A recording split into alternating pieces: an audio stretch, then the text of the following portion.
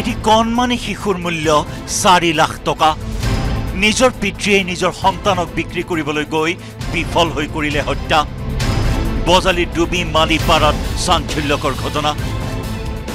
নিজ পিতৃয়ে হত্যা কৰি পুতি থলে কন্যা সন্তানৰ মৃতদেহ। হত্যাকাৰী পিতৃৰ নাম নিৰঞ্জন মালাকাৰ। কিছুদিন পূৰ্বে নিৰঞ্জন মালাকাৰৰ পত্নীয়ে হাস্পতালত জন্ম দিছিল এটি কন্যা সন্তান। কন্যা সন্তানটিক এজন ব্যক্তিক বিক্ৰী কৰিবৰ বাবে চাৰি লাখ টকাৰ দৰ দাম কৰিছিল নিৰঞ্জন মালাকৰে। কিন্তু নিৰঞ্জন মালাকৰৰ খুলখালিয়েকে বাধা দিছিল শিশুটিক বিক্ৰী কৰাৰ ক্ষেত্ৰত।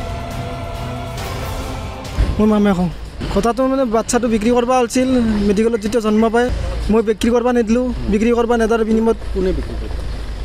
কোনে বিক্ৰী কৰিব ওলাইছে মোৰ ভিনদেউ হৈ যিটো দেউতাক নিৰঞ্জন মালাকৰ তেখেতে বিক্ৰী কৰিব ওলাইছিল মই বাধা দিয়াত তেখেতে আনি কিবা আনি তাৰপিছত জণ্ডিছ হৈ বাচ্ছাটোৰ একদিন মই চিকিৎসাও কৰোঁ সতীশৰ্মা নাৰ্ছিং হোমত। তাৰপিছত আজি ৰাতিপুৱা কয় কি মৃত বুলি ঘোষণা কৰে। কিন্তু কি বিক্ৰী যিটো কৰিব নিদিলোঁ তেতিয়া মোক কৈছিল কৈছিল চাই ল'ম তো কয় একবাৰ। এইখিনি আপোনালোকক কোনে মই ভিনদেউকে হত্যা কৰা বুলি ভাবোঁ। আনহাতে জানিব পৰা মতে শিশুটিৰ দৰদাম কৰাৰ ক্ষেত্ৰত মধ্যস্থতা কৰিছিল এজন চিকিৎসকে। হস্পিটেলতে কন্যা শিশুটিক বিক্ৰী কৰি থৈ আহিবলৈ চেষ্টা কৰিছিল পাষাণ পিতৃ নিৰঞ্জন মালাকৰে। সেয়া সফল নহল। সেয়ে শিশুটিক নিজ হাতেৰে হত্যা কৰি পুতি থলে নিৰঞ্জন মালাকৰে যি দৃশ্য দেখা পাইছিল নিৰঞ্জন মালাকৰৰ কণমানি পুত্ৰই। ইয়াতে কি হৈছিলা? ইয়াতে কি হৈছিলা? নুপুতবা। কিহেদি কি- কিহত আনিছিলা? তাৰপিছত কি কৈছে দেউতাই? দেউতাই ক'ত।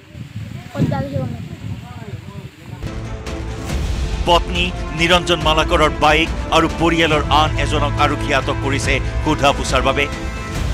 কিয় মাৰিছে কওকচোন? মই মাৰা নাই দাদা। সত্য কৈছোঁ মই। মই মেডিকেলতে চিজাৰিং হৈছে পাঁচদিন মই মেডিকেলত ৰাখছোঁ। কিয় পলাই কিয় আছিল ৰাতিপুৱাৰ পৰা? পলাই মানে মোক ৰাতিপুৱা খুব মাছে ছাৰ মোক খুব মাছে তাৰমানে কোনে? তিনিওটাই ভাগ দুটাই আৰু ছাৰ দেউতাকে। দেউতাকে আৰু ভাগ দুটাই মাছে ছাৰ। চাৰি লাখ টকাত বিক্ৰী কৰিব খুজিছিলে। এক টকাটো বিক্ৰী কৰা নাই ছাৰ মই মই এতিয়া দাদা কথা মই বাচ্ছাটো এনেই দিম বুলি কৈছোঁ এনেই দিম বুলি কৈছোঁ।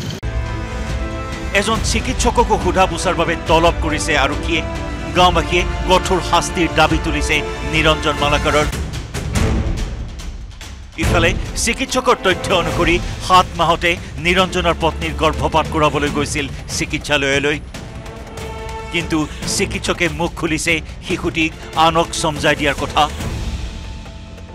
কথা হৈছে ৰাহুল চৌধুৰীৰ নামত আপুনি কোনো ৰাহুল চৌধুৰী চৌধুৰী নাই ইয়াতে।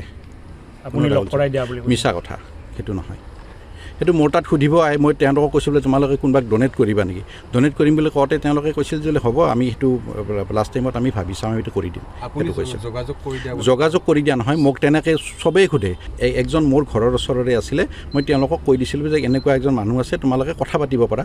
দুই মাহ আগত তাৰপিছত মই আৰু কোনো তাহাঁতৰ লগত কথা পতা মাতৃয়ে কৈছে সকলো খৰচ আপুনি বহন কৰিম বুলি কৈছিলে। কোনে? মাতৃয়ে মাকে মই? মই? মানুহজনক মাতি আনক মোৰ সন্মুখত কথা পাতিব দিয়ক। এনেইতো ক'লে নহ'ব না। পূৰ্বৰ পৰাই নিৰঞ্জন মালাকাৰে সন্তানটি বিচৰা নাছিল যাৰ বাবে শনিবাৰে নিজ হাতেৰে সন্তানক হত্যা কৰি পুতি থলে। পাষাণ পিতৃৰ এই কথা মানি ল'ব পৰা নাই স্থানীয় ৰাইজে। হয়তো শীঘ্ৰেই ওলাব ইয়াৰ আঁৰত কি আছে প্ৰকৃত সত্য। পাঠশালাৰ পৰা ধ্ৰুৱজ্যোতি তালুকদাৰৰ report news eighteen Assam North East.